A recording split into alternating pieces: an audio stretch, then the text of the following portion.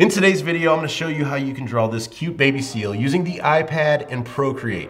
Just like all my videos too, it's in real time. So that means no time lapse or edits.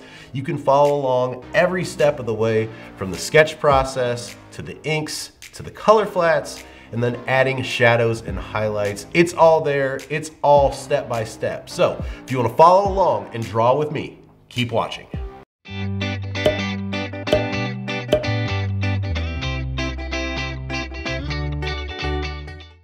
All right guys, so let's go ahead and draw a cute baby seal. Starting out, I'm using a 3000 by 3000 300 DPI canvas.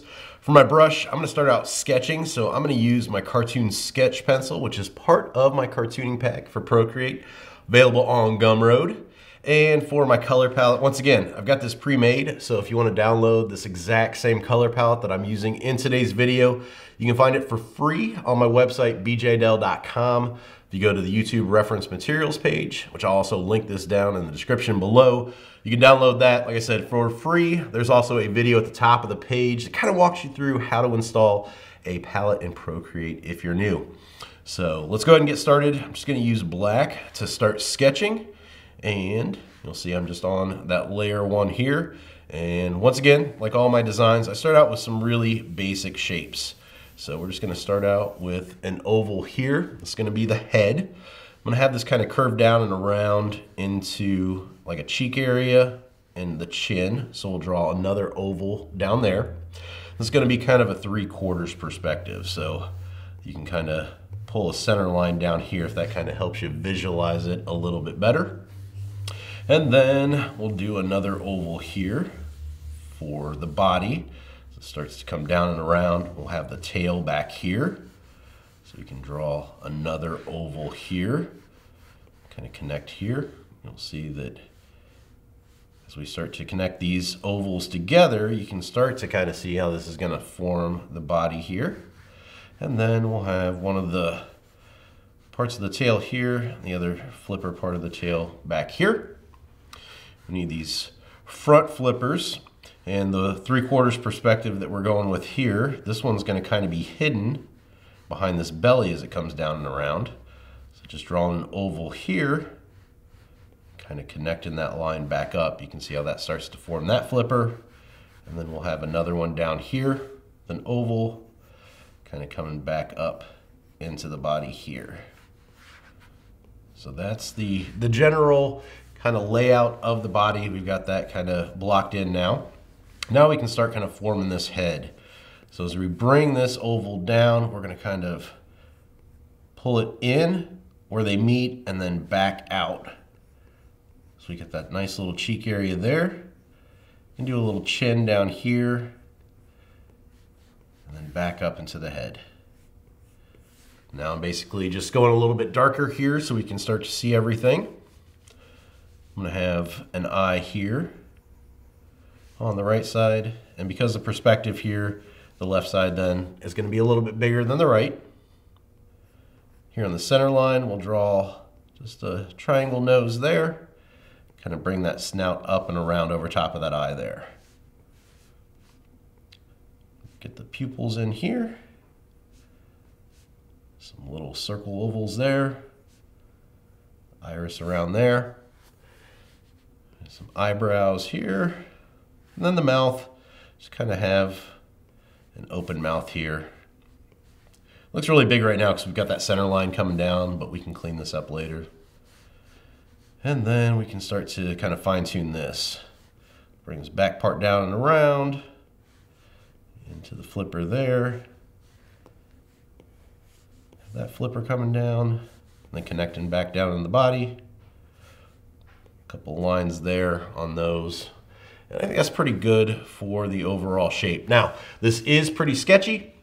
It's not super professional looking right now, and that's really what the inking process is gonna do. So if you're looking at this right now saying, eh, I think it's a little rough around the edges, it's supposed to be.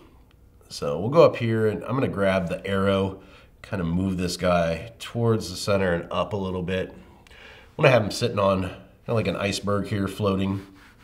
So we'll go ahead and draw another oval down here to give him something to sit on. Now this looks a little plain right now, So if we go ahead and kind of pull some curves around as we start to bring this back, we can kind of make this look a little bit more three-dimensional and a little bit more interesting for the viewer. Now pulling down some straight lines here on the edge, we can go ahead and connect this around. Once again, really sketchy. I'm not worried about making this perfect right now. And then some lines here and back in. So you see now this has kind of a three-dimensional look to it and looks, like I said, a lot better than just a basic circle or oval going around there. All right, so that's our sketch. We're ready now to start going in and doing the inking on this. So to do this, I'm gonna come back up to my layers menu and I'm gonna go ahead and make a new layer. This is gonna be our inks layer. First though, I wanna turn down how dark this is. So if we go and tap the N here to bring up blend mode, we've got this opacity slider here. We can drop this down, make it light. We wanna see it, we just don't want it to be too dark. And now we're on layer two, which is gonna be our inks. Coming back up to the brush library now, I'm gonna switch over to my standard Inker Streamline right here. And I wanna test this out and see the thickness. I'm gonna drop this down just a little bit, down to about five, six, maybe 6%, it's good.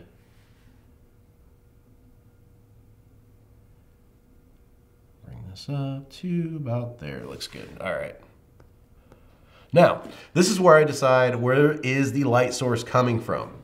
I know we're not doing shadows and highlights right now, but I've talked about this in previous videos. I like to use different line weights in my design, and the line weight's a thicker one. The kind of thing that it does is it shows the viewer where the shadows are, and the lighter lines then are closer to the light source, and those are thinner lines. That's where your highlights are gonna be.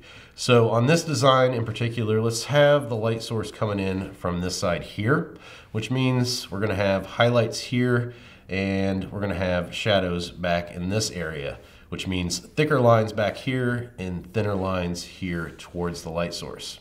So now that we've got that decided, we're gonna go ahead and start inking. I'm gonna pull in here just a little bit closer so you can see. Now this brush that I'm using, the standard Inker Streamline, there's a lot of pressure sensitivity with this, and you can get some nice tapers on the ends of the lines, but it does take some practice. As you'll see here, let me zoom in really close so you can see. Starting out with really light pressure, I'll get a nice taper start. And then as I come back through the line, I let up pressure and kind of lift up my arm and my wrist and my hand, and it gives that nice tapered line there. Now, if you do get these brushes from that Gumroad link that I was talking about, they're the exact settings and the exact brushes that I'm using here. It just takes some time and some practice to get this to look like that. So if you're having trouble, if you're getting you know big blots at the beginning of the line, it just means you're pressing too hard. So just do some practice there to get those nice tapered lines. I'm gonna pull back here so we can see a little bit better. I'm gonna bring this around, so darker line back here where the shadow is, and then coming up into a thinner line there. And this is all just letting up pressure as I bring the line around. So applying more pressure back here gives me that darker, thicker line. Go ahead and do the nose now. Get that filled in. And then I'm gonna go ahead and grab my eraser. For this, once again, just that standard Inker Streamline. I'll erase part of the nose here so it's got a nice little reflection off the top there. Once again, pressing harder, letting up at the end of that stroke. Back to my brush now. Go ahead and bring the bridge of the nose down and around. And then we'll get the eyes here. So for the eyes, if I've got ovals or circles like these, I like to have kind of a thinner line here at the bottom and have a thicker line up at the top. Kind of represents where the, the lid and the eyelashes are, having that thicker line here.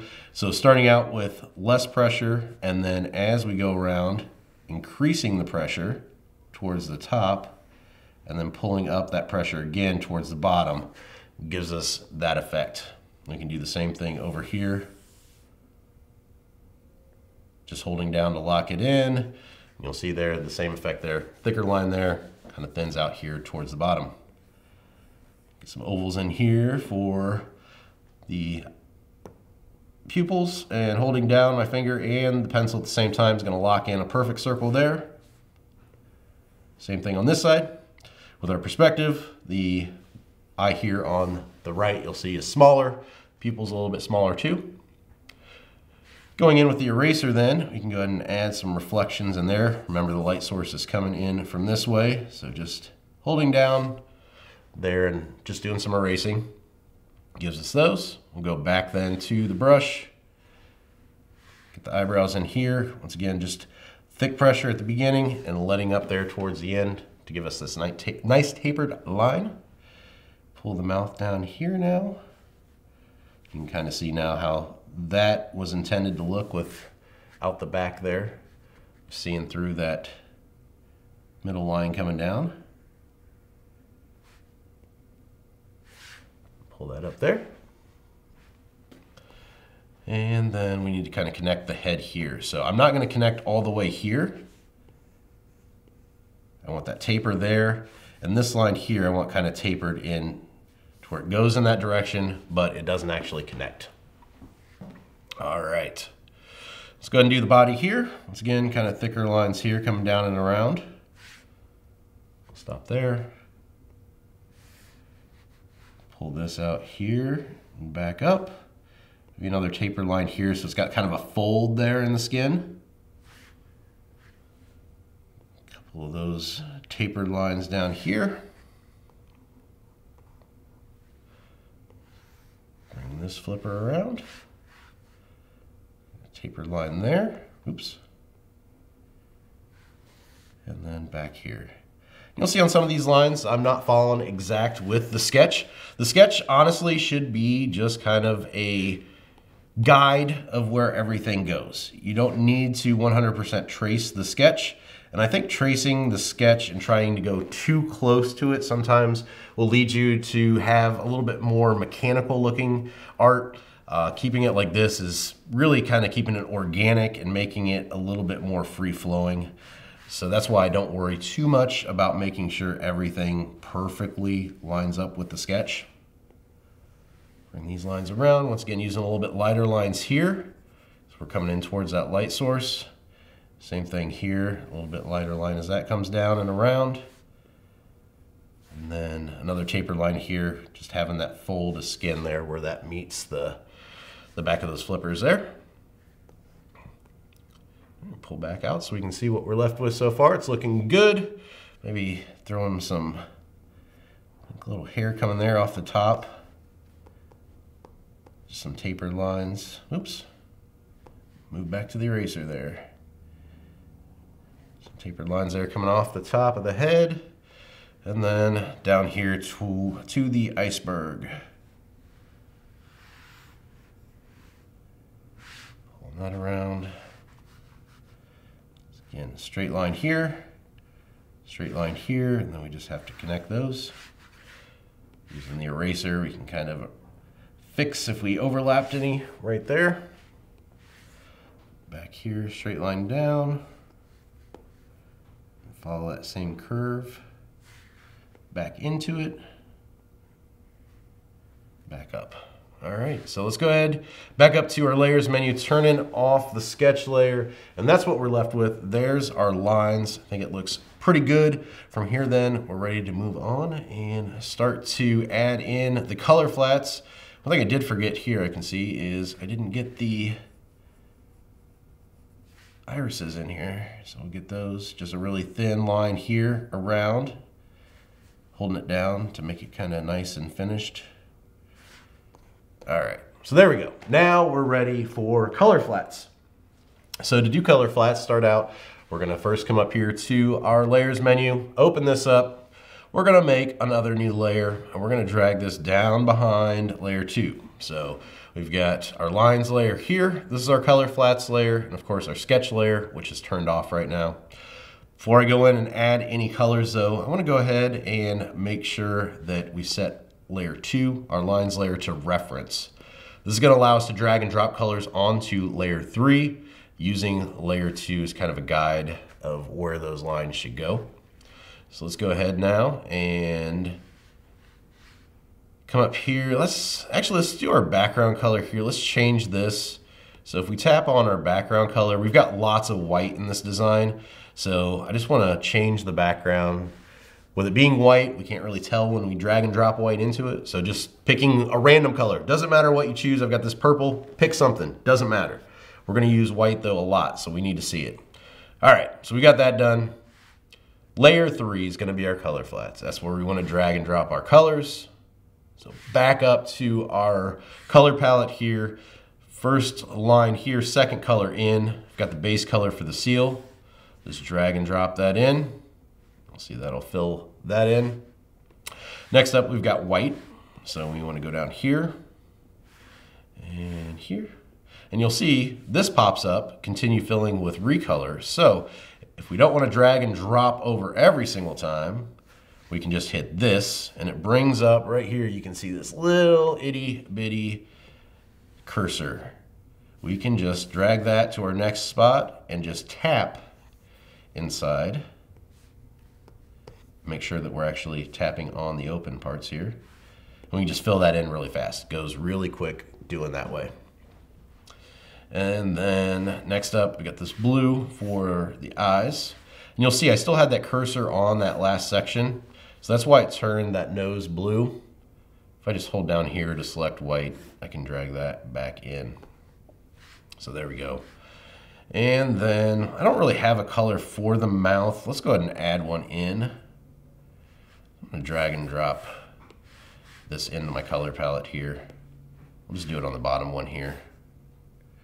We'll throw that in for the mouth. One thing I just realized looking at this too, we don't have any whiskers on here. So before we go in too much further, we've got the color flats done. Switch back to black. And going back up to our lines layer that's set as reference, just go ahead and drag in some whiskers here. So that he's got that seal look to him. I think that was one thing that was kind of missing there. And then I might even come in here and just drag in some lines that are tapered there, just kind of give him those creases underneath his eyes. Make those pop a little bit more. I think that looks good. All right, there we go. So color flats are done. Got a few little extra details added in there as well. Also kind of want to give him some spots here on his back. So if we go in here, back down to our color flats layer, and let's use this color right here second row, first color. And then I'm just gonna come in here and just kind of add in some half ovals on his back and his tail here just on that one side.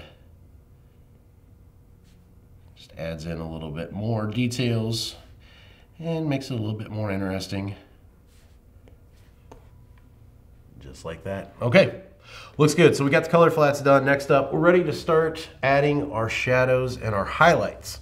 Now, this section of adding shadows is kind of easier because we already decided where the light source is coming from during the inking stage. We got that light source coming in from that top left. So back here on the right-hand side is shadows, highlights over here on the left. We're sticking with that same color that we just added those dots in, but we need to make a new layer. So back up to our layers menu, plus for a new layer. And we want to set this one as clipping mask. So if we tap on this to bring up the extended menu here and select clipping mask, what this is going to do is it's going to allow us to draw on this layer, it's a totally separate layer, while using this as kind of a guide as to where the colors go. So the things that we draw on this layer are only going to show up on the parts that are colored on this layer. We can't go outside over here because it's not colored in on this layer. So we'll start off with the shadows. Like I said, we're gonna go in this back section here and just kind of add in shadows along the back. You'll see I'm out here, but nothing's showing up because we've got that set as clipping mask. So just a really good tool to use. Saves you a lot of time from going in there and having to erase areas that you drew over that you really didn't mean to draw over. That's why we use it. Just a time saver. And one of the benefits of digital art is having little tools at your disposal like that. So, so we've got this filled in. Let's go ahead and fill in kind of around this eye here, up underneath that eyebrow.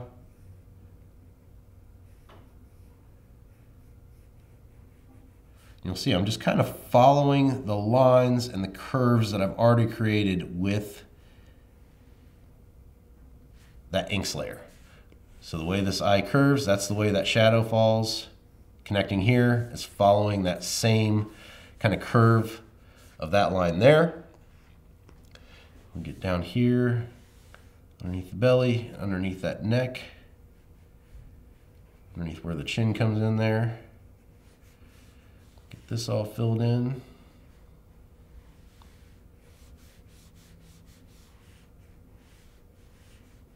And then we'll go ahead and get this foot filled in over here.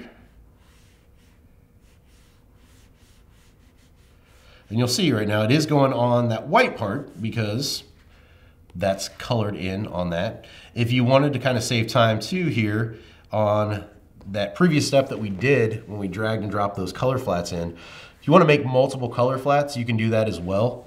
Uh, you could do the white on a completely separate layer so that that way once you go in here and do the shadows on the seal, you don't have to worry about keeping them inside this part and not hitting that white.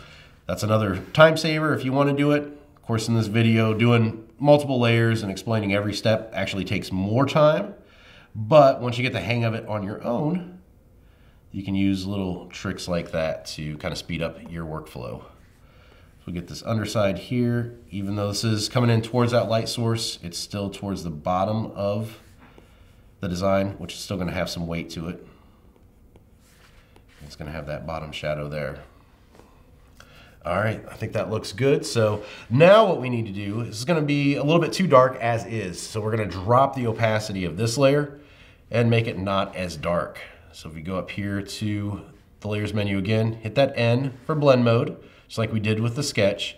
And we drop this down to, let's say about 40%, looks pretty good. Like I said, we don't want it too dark, we don't want it too light, and I think that gives off a pretty good shadow there. I'm gonna come back in here and do another shadow just underneath this line. Bring that around. And then we'll also do one kind of inside that iris there. That just looks a little bit different there. All right, now I want to do a shadow here inside the eye as well, but I want this on a separate layer because the, the opacity for what is needed on this shadow might not be the same as what's needed on the inside part because it's on white. So we're gonna go ahead and make a new layer, just like we did last time. We can add clipping mask if we want to, but it's up to you here. We're inside the eyes. The only thing with this is I think we're gonna use the same shadow on the ice, which is white as well. So I think we will hit a clipping mask on this, just because it'll keep us in the lines down there. All right, so back up to our color palette. We're gonna choose this light blue color here, and we'll just kind of pull this around.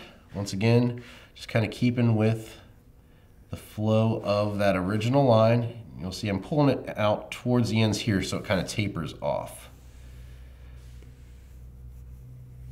Just like that. You can even add in some ovals here for some extra shadows in there. Makes it look a little bit more 3D there. All right, now we can go ahead and drag and drop our blue into the ice there. You can see, once again, that's just making it look even more three-dimensional. And then just coming in under here, kind of adding the shadow here around where he's sitting.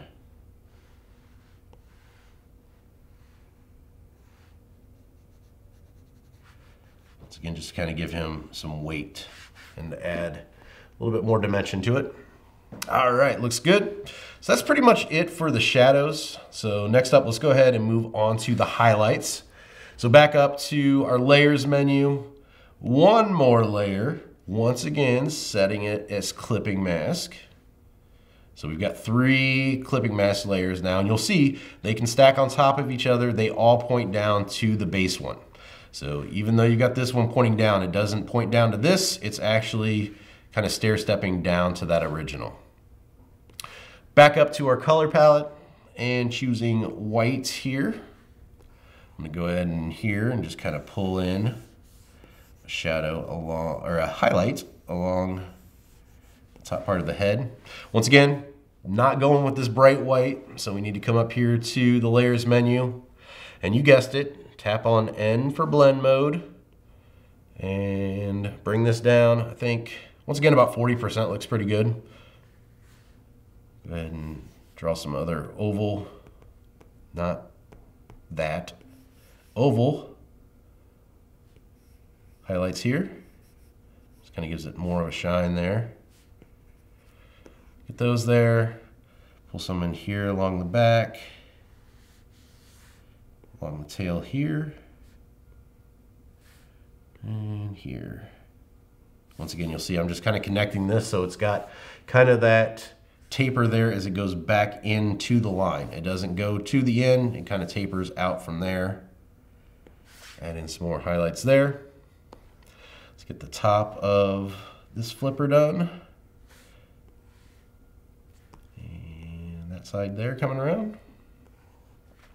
And this one is super shadowed in here, like the entire thing has a shadow. So usually here what I like to do, if we come back up here to our layers menu and go to the shadow layer, I'll come back in with the eraser and just remove just a tad bit of this.